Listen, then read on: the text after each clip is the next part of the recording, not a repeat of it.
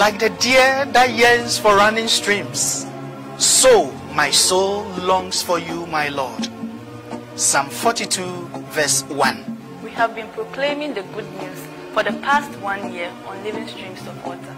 We have never relent in our quest to win souls for Christ in this journey. For the past one year, the journey has never been easy.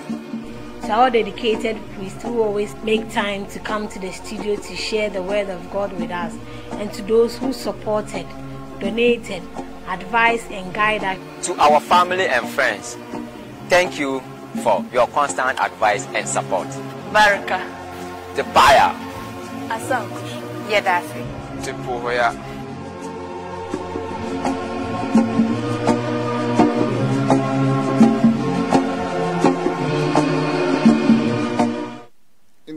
Of the Father, and of the Son, and of the Holy Spirit. Amen. The angel of the Lord declared unto Mary, and she conceived of the Holy Spirit. Hail Mary, full of grace, the Lord is with thee. Blessed art thou amongst women, and blessed is the fruit of thy womb, Jesus. Holy Mary, Mother of God, pray for us sinners, now and at the hour of our death. Amen. Behold, I am the handmaid of the Lord. Be done unto me according to thy word. Hail Mary, full of grace, the Lord is with thee. Blessed art thou amongst women, and blessed is the fruit of thy womb, Jesus. Holy Mary, Mother of God, pray for us sinners, now and at the hour of our death. Amen. And the Word was made flesh, and dwelt amongst us. Hail Mary, full of grace, the Lord is with thee. Blessed art thou amongst women, and blessed is the fruit of thy womb, Jesus. Holy Mary, Mother of God, pray for us sinners, now and at the hour of our death. Amen. Pray for us, O Holy Mother of God, that we may be made worthy of the promises of Christ. Let us pray. Pour forth, beseech you, O Lord, your grace into our hearts, that we, to whom the incarnation of Christ your Son was made known by the message of an angel, may by his passion and cross be brought to the glory of his resurrection through the same Christ our Lord. Amen. Dear friends, as we come to the last Saturday or the last day of the 31st Sunday in ordinary time, the Word of God has a lot of lessons for our Christian ed education and for our faith building. As we shall be hearing soon, the word which inspires us as to how to relate with our neighbors and how to relate with the material possessions that we have. A reading from the Holy Gospel according to Luke.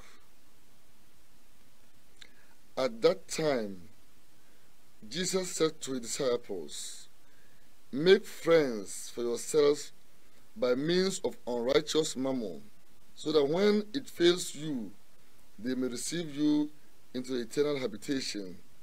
He who is faithful in a little is faithful also in much, and he who is dishonest in a very little is dishonest also in much. If then you have not been faithful in the unrighteous mammon, who will entrust to you true riches?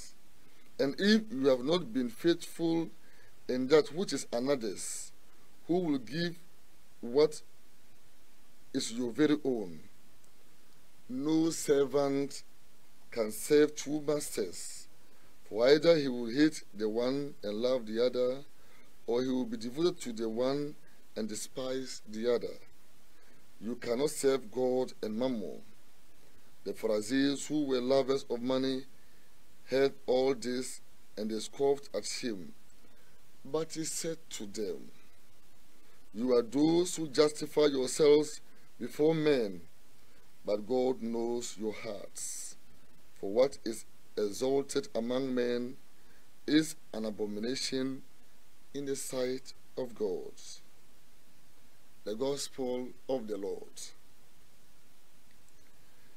Dear friends, in today's reading, Jesus instructs his disciples how they ought to relate with material goods, how they ought to relate with material wealth, and that we should use our wealth to win us friends, true friends, genuine friends.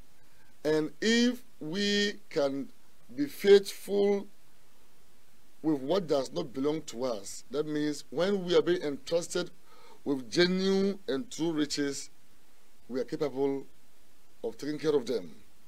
And this calls us to be responsible in bearing our stewardship to God. Because he who chooses to be careless with what does not belong to him, even if he should get his very own things, he will not be careful in taking good care of them. And he who proves his ability in developing smaller, smaller things, we are told that he is the one worthy to be entrusted with greater and higher responsibility. And as for when it comes to serving God and wealth, that we cannot do, we cannot serve God the same attention that we give God, the same preoccupation that we give God, we cannot give that to our possessions. But then the one who is wise enough is able to serve God with all that he has, knowing that everything, his wealth, his riches, they are all a given. And therefore, allegiance to God, fidelity to God is much more important than attachment to material goods.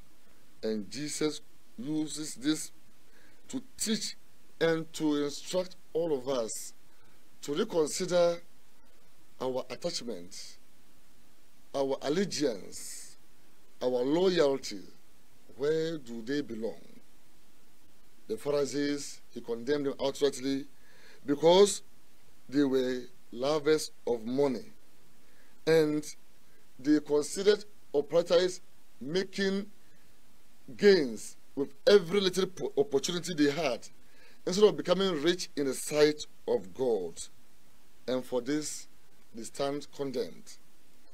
Jesus is instructing us that we ought to devote our entire life in service of God because that one is of a higher premium than any other thing. And as one somebody once said, how can a part-time Christian ever fight a full-time devil? How can that be? And therefore, in serving God, we ought not to be part-timers. We have to be fully engaged, full-time, and be committed to serving God rather than trying to be a part-time serving God with half-heartedness, with half devotions, with half allegiance. One cannot serve both God and material possessions. But with a right attitude and right disposition, we'll be able to use the very thing that God has created as means of serving Him in advancing in our loyalty and that we're able to lift others out of their predicaments. We're able to lift others out of their situation of destitution so that with our wealth, which may never condemn us, but we may use it to promote God's kingdom. Dear friend, as you listen to today's gospel, I ask you this question Are you a full time worker for God or a part time worker. May God's name be blessed and may we praise Him and highly extol Him in all our dealings that we may give Him our unflinching and total fidelity in everything that we do. May His name be blessed both now and forever. Amen. The Lord be with you May the Almighty God bless each one of you. In the name of the Father, and of the Son, and of the Holy Spirit. Amen.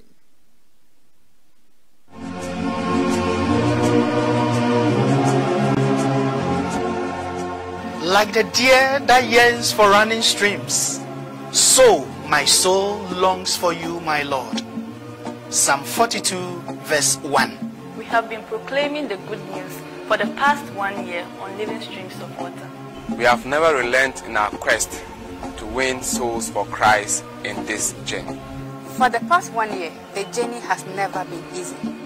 To our dedicated priests who always make time to come to the studio to share the word of God with us, and to those who supported, donated, advised, and guided us. To our family and friends, thank you for your constant advice and support. Baraka, The buyer, Asam Kush. Yedase. Tipo,